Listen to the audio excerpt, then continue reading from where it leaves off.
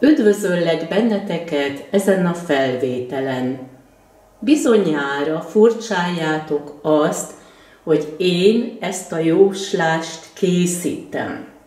De én biztos vagyok abban, hogy a ti környezetetekben is van egy személy, akit ti nem kedveltek, vagy hogy ez a személy gyakran egy hölgy támad titeket, féltékeny rátok, vagy irigy rátok. Ez lehet egy kolléganő, lehet valaki a családból, vagy a környezetetekben, vagy lehet egy rivális nő is, egy hamis személy, egy hamis nő.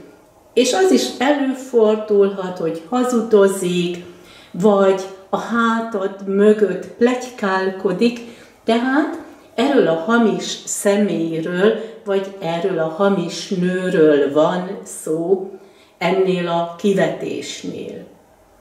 Ezt a jóslást azért találtam ki, hogy legyen egy megoldás, hogy hogy lásd a helyzetet, és mit kellene tenned.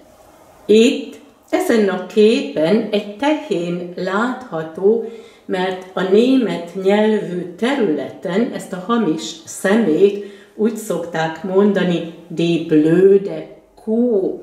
Elnézést, hogy ilyen szavakat használok, de ezt úgy tudnám magyarra lefordítani. Ez a hülye tyúk, vagy ez a buta liba, és pontosan erről a hamis személyről, erről a buta libáról van szó. Az első kérdés az lenne, hogy mit gondol rólad?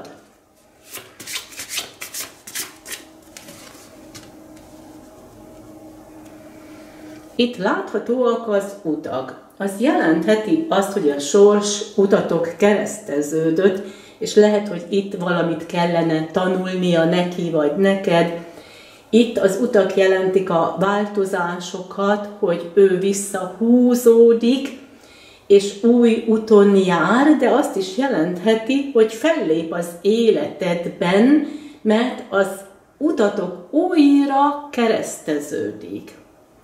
Vagy útban van ez a butaliba. A következő kérdés az lenne, hogy mit plegykálkodik, hogy beszél rólad. Itt te állsz a középpontban, hiszen ez a hölgy téged szimbolizál. Lehet, hogy úgy mondja, hogy te beképzelt vagy, meg minden körülötted forog, nem figyelsz oda másokra. Mit fog tenni ez a hölgy?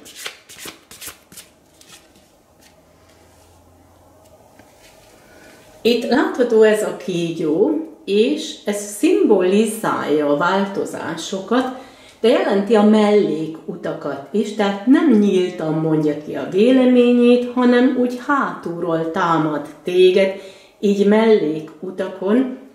Ez a kígyó szimbolizál egy másik nőt, ez lehet a butaliba, de lehet egy barátnő, és ezzel a másik nővel ők ketten plegykálkodnak. Irigy rád. Igen, lehet mondani, hogy irigy, hiszen itt megjelennek a halak, az jelenti az anyagiakat, lehet, hogy a pénzügyi dolgok miatt irigy rád. A halak jelentik a pénzt, és a munkát, a hivatást is. Lehet, hogy ott ismeritek egymást, vagy irigy rád a munkád és az anyagi helyzeted miatt.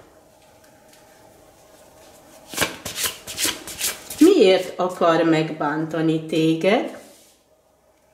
Itt látható a te tudásod és a tehetséged, ez nem tetszik neki, mert ő tudja azt, hogy ez előbbre visz téged, tehát megvannak a sikerek, és ezt ő nem kedveli.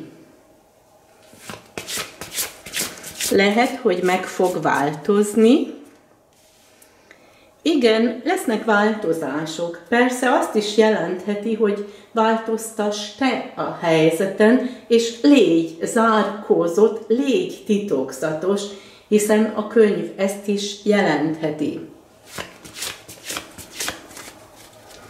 Hogy talál ez téged?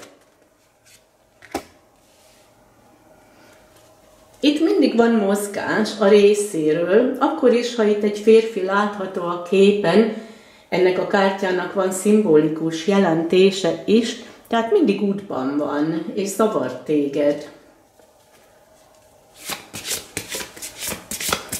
Hogy tudnád védeni magadat?